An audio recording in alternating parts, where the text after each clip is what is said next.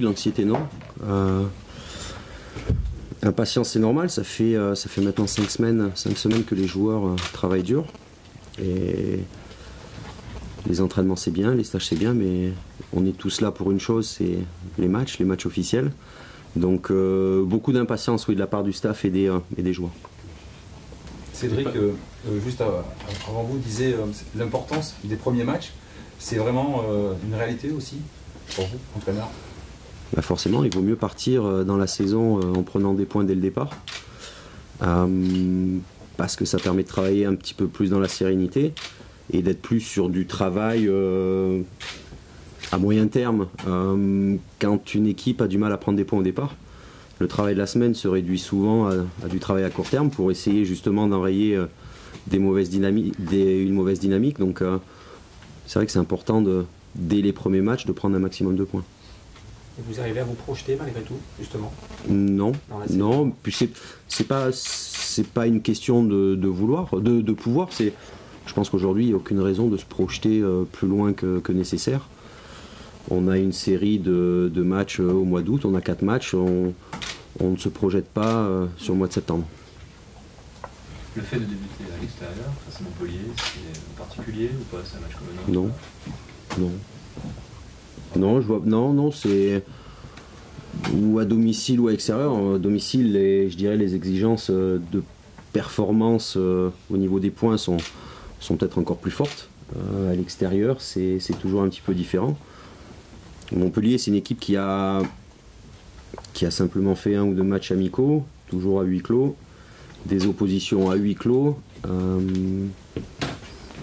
voilà, je, je dis pas qu'on part dans l'inconnu, on part un peu dans l'inconnu face euh, à cette équipe de Montpellier, mais, mais nous, on part avec, euh, avec des certitudes.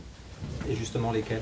Est-ce que vous avez déjà défini un projet de jeu, un système, enfin, des choses assez précises ouais, Enfin, projet de jeu, euh, Même si tout on ne met pas en place en, cinq semaines, c'est compliqué.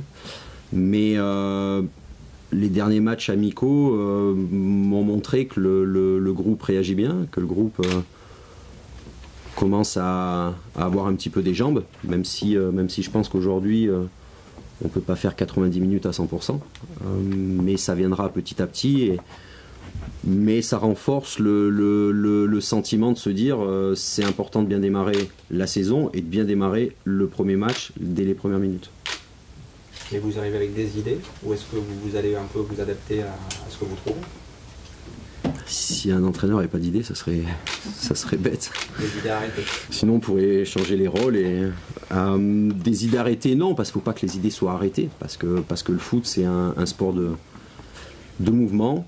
Euh, mais ce qui est sûr, c'est qu'on ne va pas à Montpellier en, se, en voulant se, se calquer sur le jeu de l'adversaire. Qu'est-ce qui va compter plus pour vous, le, jeu produit ou le résultat pour, pour le premier match? Réponse, euh, les deux, forcément. Euh, faut pas. On entend souvent les discours de, dire oui, il y avait du jeu, mais on a perdu, donc on est sur la bonne voie. Non, je pense qu'il n'y a que les résultats qui montrent euh, si on est sur la bonne voie ou pas. Donc les points seront, seront importants. Est-ce que l'équipe va bouger encore? On, attend peut-être de nouveaux joueurs. Qu'est-ce qui va se passer? Vous pouvez nous en dire un petit peu plus?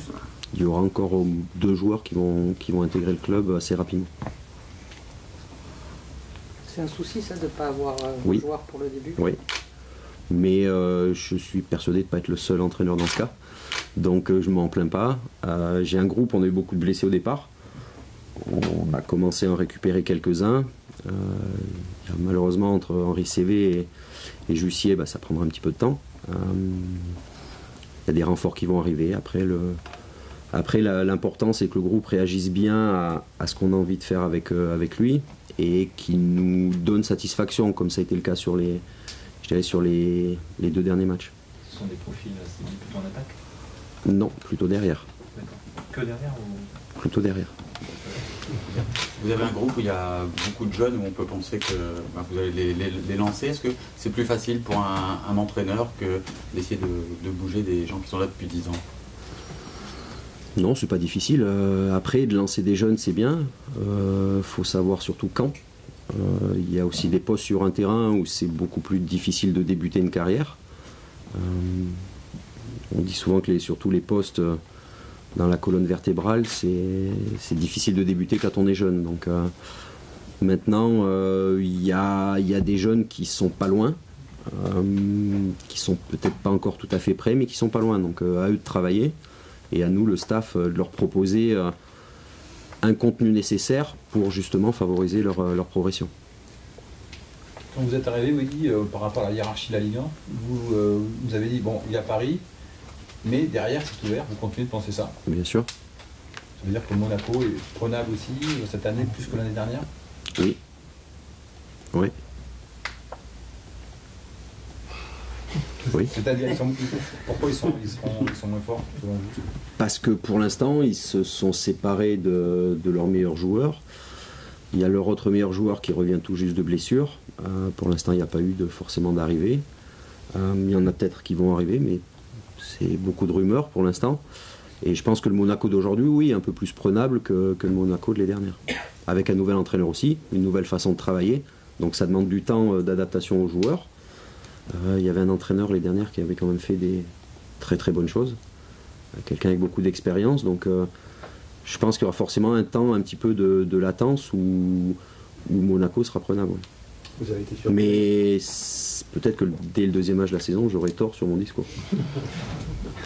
Vous aviez été surpris à l'époque euh, justement de l'édition de cet entraîneur dont vous parlez, Claude. Vous connaissiez Bah, Forcément, dans le, dans foot, on est toujours habitué à, avoir des, à voir pardon, des évictions quand ça se passe mal. Beaucoup moins quand ça se passe bien. Euh, en deux ans, on en a eu deux euh, entre Antoine Comboiré et, et, euh, et Claudio Ranieri. Donc, il fait peut-être pas bon être dans les deux premiers. peut-être éviter d'y aller. Mais non, c'est oui, c'était surprenant. Je pense que le, après, ce sont des, des ambitions de club, des décisions de, de dirigeants donc qui ne se bah, qui ne se commentent pas forcément, même si c'est vrai que le, le- le milieu du foot, euh, enfin le microcosme français, euh, s'en est un petit peu ému, aussi, un petit peu ému, c'était c'était normal. Quelle, quelle image vous aviez des Girondins euh, la saison dernière Vous suiviez forcément euh, les clubs de Ligue 1 Ah, c'est c'est- c'est difficile pour moi de parler d'une d'une du club à un, instant T. Euh, je crois que le, quand, euh, quand euh, les contacts ont été noués avec Bordeaux, ma réflexion s'est plus portée sur le club dans sa globalité, sur la, situation du club, sur les structures du club, sur les envies du club. Et on ne peut pas réduire ça à un an ou six mois. Il faut, faut quand même regarder sur, un, sur une durée beaucoup plus longue. Et, sur les 7, 8, 10 dernières saisons, bah, Bordeaux fait quand même partie des, des 3-4 meilleurs clubs français. Et les, les moyens un peu limités, vous vous effrayez pas justement? Bah, je le savais avant de venir, donc euh, Ouais. c'est pas c'est pas une surprise. euh. et je pense que si Bordeaux avait des moyens euh, égaux à, à Monaco ou Paris, bah, je pense pas qu'ils auraient pris Willy Sagnol comme entraîneur. Ah oui? Bah, à grand euh, à club avec beaucoup de moyens, euh, dans les grands clubs, on voit des, des entraîneurs confirmés. Donc euh, ça fait partie d'une politique aussi euh, du club qui voilà, il y a eu un- une convergence d'intérêts. Justement, par rapport à, à cette situation, est-ce que vous avez entendu la sortie de Roland Courbis qui a plaidé plutôt en votre faveur Oui. ces derniers jours? Qu'est-ce que vous en pensez? Euh, bah, on dit souvent un père il tape jamais sur son fils. Euh, non voilà les sans trop s'y étendre euh, parce que c'est pas le lieu mais il y a des relations humaines qui dépassent le cadre du foot donc voilà. On parlait tout à l'heure de- d'envie. Est-ce qu'à titre personnel, il y a aussi un peu d'appréhension de s'asseoir sur un, banc de Ligue 1 ou alors vous dites avec ce que j'ai vu, euh, ça peut pas être pire qu'autre chose? Hum, De l'appréhension, oui, il y en a toujours un petit peu, mais c'est normal. Au contraire, il en faut. Euh, si j'arrivais aujourd'hui devant vous en disant que j'ai pas d'appréhension, on pourrait me prendre pour un fou ou pour un peut-être quelqu'un d'arrogant, mais l'appréhension, il en faut. Mais c'est de la- de l'appréhension positive euh, qui se transforme après en excitation euh, parce que voilà, le, le début commence. C'est le début du, euh, le vrai début. voilà. Vous avez déjà votre, votre 11 Oui. dans la tête? Oui. Après cinq semaines, il y a des joueurs qui sont pas encore là, il y a des joueurs blessés, donc forcément les choix se- sont très réduits. Mais quoi qu'il arrive, il y aura une équipe contre Montpellier compétitive. Mariano Mariano, non. Il est forfait Oui. Pour euh, en, en un certain temps, on sait euh, Ça, j'ai bon espoir l'avoir dès le deuxième match. Le, le reste des blessés ou des incertains, hors, euh, hors longue blessure. Ben, Il n'y en a pas d'autres. euh, Il n'y en a pas d'autres non. Chèque est disponible. Sheik s'entraîne avec nous maintenant depuis 10 jours, 11 jours. Euh, il, a joué, euh, il a joué contre Parme euh, le week-end dernier, donc euh, Sheik, c'est un joueur de l'effectif. Voilà. Et Lucas C'est bon pour Lucas aussi Orban Bah, Il est plus blessé, non? C'était juste par précaution euh, par rapport au, au choc qu'il avait reçu contre Nantes, mais non, non, il euh, s'entraîne correctement depuis le début de la semaine. Est-ce que vous imaginez que des joueurs de votre effectif pourraient partir? Oui, ça ne m'effraie pas du tout puisque puisque les relations avec le président sont saines, directes et franches. Donc euh, s'il y a un départ, c'est qu'il a été aussi acté par le, par le sportif. Vous avez nommé un capitaine hier pour longtemps Oui. ou pas forcément?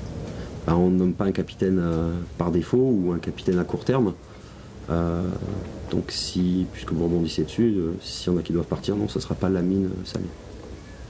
Et les, éventuels départs seraient compensés Vous avez le- la garantie ou pas? Pas forcément. Bien sûr. Et votre 11, c'est quoi alors? Bah, si vous me chopez le 11 de Montpellier, euh, mais je vous donnerai le nôtre aussi. Justement, vous le connaissez bien, euh, Roland, parce Ouais. que on sait qu'il est adepte euh, de, de coups comme ça, notamment tactiques. Vous vous attendez à un petit, à quelque chose Ces matchs à huis clos, c'est. euh, Bah, justement, c'est fait pour ça aussi, parce qu'il a, envie de protéger son groupe. Après, je sais que c'est un entraîneur qui aime pas trop les matchs amicaux de début de saison parce que euh, craint les blessures. C'est sa philosophie. Moi, j'en avais une autre en arrivant ici parce que j'avais besoin de voir et de sentir les joueurs. Donc, euh, il a fallu faire des matchs. Maintenant, concernant Montpellier, on connaît aussi l'effectif de Montpellier. C'est pas l'effectif, c'est pas un effectif de 45 joueurs. Donc, euh, à quelque chose près, on, sait à quoi s'attendre. Mais après, comme je vous ai dit en, préambule, le, le- pour nous, le plus important, c'est pas forcément l'adversaire, c'est surtout nous. Voilà. J'aurais peut-être pas le même discours avant la veille de, de PSG Bordeaux, mais euh, au jour d'aujourd'hui, ce qui nous intéresse, c'est ce que nous, on est capable de faire et ce que nous, on veut faire. Allez, merci. Est-ce qu'il y a juste, euh, est-ce, est-ce qu'il y a des, cha- des changements euh, Votre méthode? Est-ce que vous, il y a des mises au vert? Est-ce que comment, comment vous allez, euh, vous savez si Oui, oui, travaillez? Il y aura des mises au vert. oui. Bah non, vous savez. Il n'y en avait Euh, pas avant. Après, on dit toujours quand un joueur passe de l'autre côté de la barrière, il reproduit certains schémas qui pour lui avaient bien marché. Et j'ai toujours été dans des équipes où il y avait toujours des mises au vert. Donc euh, il y a des mises au vert. Vous en avez parlé avec les joueurs avant, justement Pour Non, savoir. euh, non. Non, mais. Bon, ils le savent. euh, Ils savent qu'ils doivent venir à tel moment, mais Pas pour leur annoncer, mais savoir ce que leur sensibilité, ce qu'ils aimeraient faire. non, parce que je pense que ça, c'est une décision euh, qui doit être prise par le staff. Euh, parce qu'un joueur, bah, si on m'avait posé la question, j'aurais peut-être dit aussi la mise au vert, peut-être pas. Mais je crois que certaines choses, il y a tout ce qui va concerner le jeu, les joueurs sont impliqués dans la, dans la réflexion. Euh, il y a de l'échange, beaucoup d'échanges, mais après sur l'organisationnel, euh, ça c'est plus des, ce sont plus des directives plutôt que, que des résultats d'échange. Et les joueurs, justement, euh, Lamine et Cédric nous parlaient du besoin d'un nouvel élan. Vous l'avez senti ça en arrivant, justement? Que le groupe arrivait un peu en fin de. à la fin du- d'un cycle, en tout cas? À partir du moment où il y a un nouvel entraîneur qui est arrivé, c'était le début d'un autre cycle, automatiquement. Euh, on a entendu, enfin, vous avez écrit ou j'ai entendu, ou beaucoup de gens ont beaucoup entendu par rapport à ce qui s'est passé avant. Bordeaux a quand même euh, gagné la Coupe de France il y a deux ans. Euh, fini septième les dernières, l'année d'avant aussi, je crois. Donc tout n'a pas été mal. Il y avait quand même eu des bonnes choses. Et mon arrivée après correspond aussi à, peut-être un changement parce que bah, forcément j'ai pas la même personnalité que l'entraîneur d'avant. Euh, mais mes méthodes sont certainement différentes aussi, mais ça ne veut pas dire que mes méthodes sont meilleures que les siennes.